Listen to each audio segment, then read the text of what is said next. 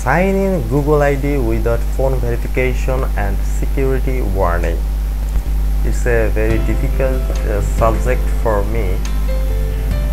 So two days ago from the publishing date this post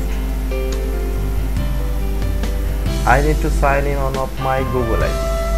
So when I gonna log in the security alert Google could not verify it's you so you cannot sign in this account right now. So what can I do? I trying so many things and so many tricks but no work. Then I found suddenly I found this tricks. Tricks or idea I don't know what. I go to my Android phone and go to setting and add a new account the Google account.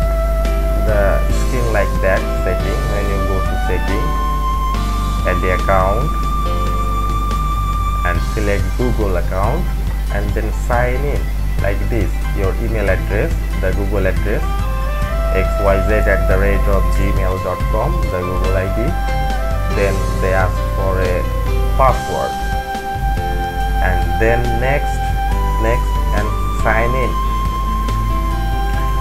it's a very easy trick or uh, easy method I don't know is it work for you or not but I found the solution. Thank you for watching this video.